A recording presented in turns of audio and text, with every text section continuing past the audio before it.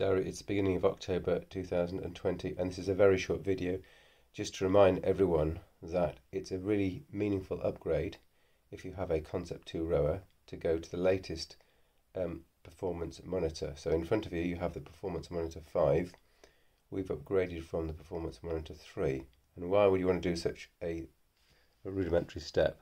Well, the Performance Monitor 5 has a head unit that incorporates Bluetooth and ANT plus. And so you'll see there's a menu here for connection to such devices.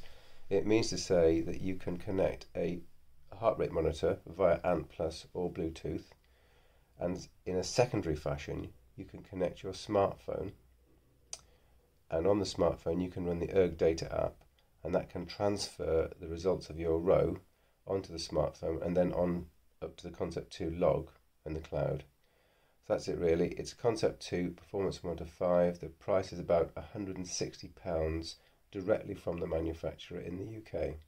Absolutely recommended. You'd be well advised to consider this over the standard and other models of the performance monitor which don't have these facilities. Thanks for watching.